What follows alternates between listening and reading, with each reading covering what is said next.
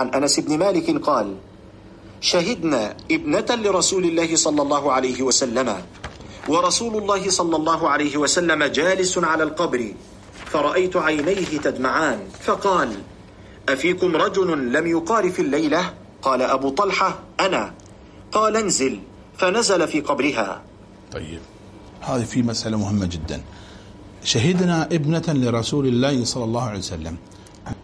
من هي هذه الابنة التي كانت شهد عليه وسلم وفاتها ودفنها؟ آه هي أم كلثوم.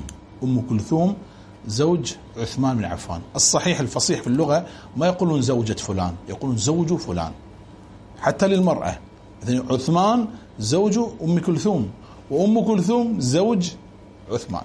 هذا الفصيح. بس إحنا تعودنا نقول زوجة يعني للمؤنث. طيب. قال آه فريت عينيه تدمعان. هذا هو الشاهد في هذا الحديث. ثم سأل النبي عليه الصلاة والسلام الصحابة أيكم أي أفيكم رجل لم يقارف الليلة؟ ما معنى لم يقارف الليلة؟ أي لم يجامع تلك الليلة؟ ما أتى أهله. وفي هذا اكتبوا فائدة. وفي هذا دليل على أن من جامع أهله ليلة لم يشرع له في صبيحتها أن ينزل ميتة في قبرها.